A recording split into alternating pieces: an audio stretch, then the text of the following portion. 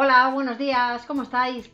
Pues un día más, aquí estamos. Hoy vamos a hablar de un tema muy importante que además ahora con la primavera, pues seguramente alguno de vosotros habéis tenido algún susto.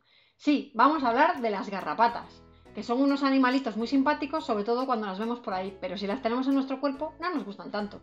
Por eso lo titulé Garrapata que me matas, porque algunas de las garrapatas, ya lo veremos ahora, transmiten o pueden transmitir alguna enfermedad. Bueno, pertenecen a este grupo, a los Ixoidea. Son artrópodos, por eso se parecen tanto a las arañas, a los insectos, aunque tienen cuatro, estos tienen cuatro pares de patas. Pero bueno, veis que tienen el, esqueleto exterior, es exoesqueleto, y es duro, ¿vale? Entonces, estas garrapatas, veis que tienen esos cuatro pares de patas, tienen un cuerpo globoso, que habitualmente es un poco plano. Se parecen un poco a los ácaros, son primos lejanos de los ácaros, por eso tienen este aspecto tipo arácnido y sobre todo los caracteriza porque son ectoparásitos, es decir, que no se meten dentro del cuerpo, pero sí que están en la superficie y les gusta comer sangre, nuestra sangre, ¿vale? Se alimentan de sangre nuestra o de otros mamíferos. Son ectoparásitos hematófagos, también se alimentan de algunas aves. Ahora lo contamos. Bueno, son vectores, como ya vimos en, cuando hablamos de los mosquitos, vimos que ellos por sí mismos no transmiten ninguna enfermedad, pero en su cuerpo a veces albergan eh, bacterias, son como un transmisor. Bueno, pues las garrapatas pasa lo mismo. Por ejemplo, aquí tenéis el ejemplo de la bacteria Borrelia burgdorferi, que se puede transmitir por la mordedura de la garrapata. Tenemos eh, aquí como es una garrapata hembra y una garrapata macho. Eh, algunas de las enfermedades que pueden transmitir las garrapatas, pues puede ser el tifus, la enfermedad de Lyme, la fiebre por la fiebre de garrapatas en Colorado, la fiebre de las montañas rocosas, la tularemia. Bueno, ya veis que sobre todo hay muchos de los adjetivos de estas enfermedades que están relacionadas con topónimos de Estados Unidos. Bueno, pues en Estados Unidos las garrapatas son un verdadero problema, con lo cual si, os vais de viaje, si tenéis la suerte de iros de viaje a hacer una ruta por la montaña en Estados Unidos, tened mucho cuidado. Hay algunas de las que te puedes vacunar antes de ir, de algunas de las bacterias que pueden transmitir algunas garrapatas. Eh, también en el centro de Europa hay garrapatas que pueden transmitir alguna de las enfermedades también. Así que siempre antes de viajar os recomiendo que os informéis un poco de a dónde vais y de qué enfermedades podéis evitar antes de ir, porque algunas eh, son fácilmente evitables. Y por ejemplo, en el caso de las garrapatas, si se os hubiera alguna, cada noche antes de ducharos tenéis que revisar el cuerpo. La ropa la podéis dejar a la entrada de la habitación, intentar no llevarla dentro de la habitación, porque a lo mejor durante la noche se os suben por el cuerpo no dormir con los calcetines que traes de, andar por el monte e intentar revisar eso, el cuerpo. Luego vamos a ver, vamos a hacer un recorrido por qué partes del cuerpo nuestro se nos pueden, se nos pueden quedar. Y aquí tenemos un esquema de la disposición de las diferentes partes que tiene una garrapata.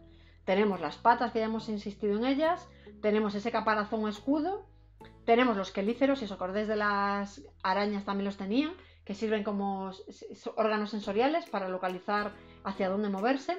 Y luego el hipostoma, que en este caso es esa parte que la garrapata clavaría dentro del cuerpo de los animales a los que parasita. Con lo cual esa parte, si os arranca la garrapata de cualquier manera, esa parte se puede quedar dentro y esa parte podría seguir transmitiendo la enfermedad o la bacteria que, que tuviese la garrapata. Así que tenéis que tener mucho cuidado. Luego os voy a contar unas cuantas recomendaciones para evitar que se os quede. Y aquí, bueno, ya para que lo veáis un poco en detalle, es el cuerpo de las garrapatas, pero al microscopio electrónico de barrido. Veis que se puede ver muy bien cómo son esas patas, cómo es el caparazón, cómo es la estructura del hipostoma. Veis todos los diferentes pelitos que tienen. Se ve muy bien las pinzas que utilizan para intentar agarrarse a los pelos antes de llegar a clavarse. Bueno, se ve muy muy bien en detalle. Y aquí un esquema del ciclo de vida desde que una hembra macho y una o sea, perdón, desde que una garrapata macho y una garrapata hembra se conocen, ponen huevos, tenemos las pequeñas larvitas y ninfas que si veis se parecen mucho al adulto, ¿vale? Son eh, este tipo de insectos como o sea, el, crecimiento como algunos insectos, como por ejemplo las mantis, que ya lo vimos, que nacen eh, igual que van a ser el adulto, pues estos artrópodos también tienen ese tipo de desarrollo, ¿vale? No tienen una, una metamorfosis como otros organismos, sino que son holometábolos. Bueno, ¿y qué más? Tenemos garrapatas para todos. Tenemos garrapatas que aparecen en el cuerpo de los perros y los gatos, veis que parecen como un grano de, maíz. Tenemos garrapatas que se suben a otro tipo de ganado y que tienen otros otras coloraciones, más marrones, más parduzcas. Y también hay garrapatas que se suben a las plumas de las aves. Y desde las plumas llegan hasta, su cuerpo para intentar ahí alimentarse. Pero bueno, lo que os decía, siempre que sospechéis que vayáis a una zona en la que la hierba es muy alta y sospechéis que pueda haber garrapatas, al volver a casa o antes de ducharos tenéis que revisaros el cuerpo. Las zonas más comunes son los tobillos, detrás de las rodillas, en las ingles, en las eh, axilas, en las muñecas eh, y sobre todo en la cabeza, que es bastante peligroso porque hay mucho pelo ahí y no se ve. Y esto es la pinta que tendría una garrapata metida en vuestra piel. Veis que hace una perforación de la superficie de, la piel. Ahí veis que empezaría a chupar y ya se ve como va creando como una especie de herida. Y luego la garrapata se incrusta como si fuera un clavo en la pared. Veis que está como en transversal a la piel. Y ahí está chupando sangre con ese hipostoma metido. Entonces, si ahora hicierais ra y la reventáis, el hipostoma ese se queda dentro. Por eso hay que seguir una serie de recomendaciones para poder quitarlas. Primero tenéis que revisaros. Si revisando os encontráis que puede haber una garrapata, tenéis que avisar a un adulto. Si ya vosotros sabéis quitárosla, pues lo que tenéis que hacer es, tenéis que intentar retirarla con unas pinzas de inmediato. Ahora vais a ver un esquema de cómo se haría. Luego, si podéis, si estáis en un sitio en el que esas garrapatas transmiten alguna enfermedad, deberíais intentar conservar la garrapata en un bote por si tenéis que ir al médico y os piden esa garrapata. Y ya por último, lavaros muy bien las manos porque si esa garrapata transmite alguna bacteria, esa bacteria la podéis al final acabar ingiriendo o llegando a vuestro cuerpo de otras formas.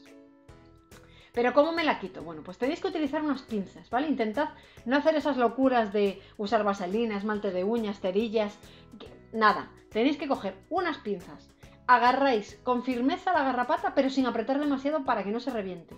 La agarráis, intentáis levantarla poco a poco, ¿veis? En, el dibujo, la intentéis hacer, hacéis varios movimientos, suavemente, pero movimientos ascendentes, hasta que la garrapata se suelta y, y os deja libres, ¿vale? Entonces veis que al sacarla tenéis que revisar si la garrapata tiene el aparato bucal intacto, porque si no lo tiene significa que se ha quedado dentro. Y ahí deberíais ir al médico porque eso sí que es peligroso.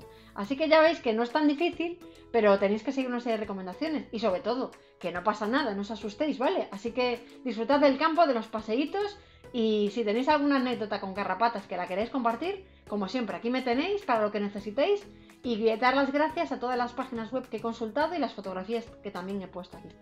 Así que muchas gracias a todos por vuestra atención y nos vemos otro día. ¡Hasta pronto! ¡Adiós!